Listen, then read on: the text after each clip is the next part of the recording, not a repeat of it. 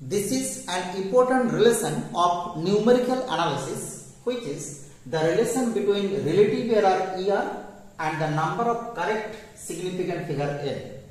Here relative error ER is always less than 1 by k into 10 to the power n minus 1 where k is k being the first significant figure of the number. Okay. Now we apply this formula using three example.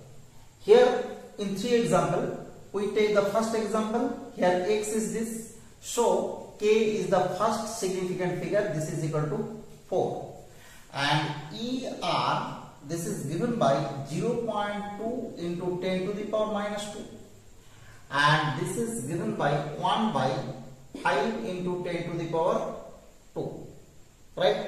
And if we put 4 that is k. In place of 5 then we can write this. This is equal to 4 into 10 to the power 2 means 3 minus 1 okay? So if we compare this with this result here n n this is equal to 3 so the correct significant figure is 3 that is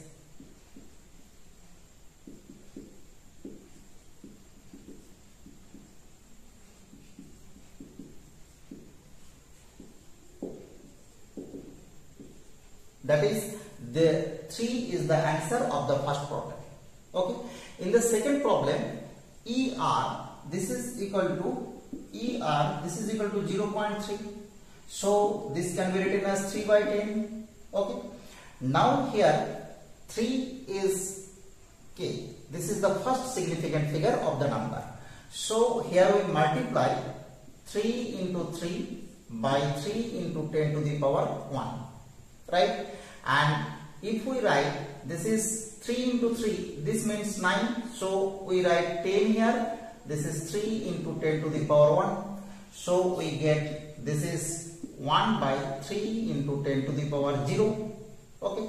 So 10 to the power 0 means 1 minus 1 that is with comparing this result n this is equal to 1 so 1 is the correct significant figure for the problem number 2 and for the problem number C this, here k this is equal to 8 and er this is equal to 0.1 this means 1 by 1 by 10 so we can write this is less than 10 by 8 because here k this is equal to 8 and we write 1 by 10 less than 10 by 8 right?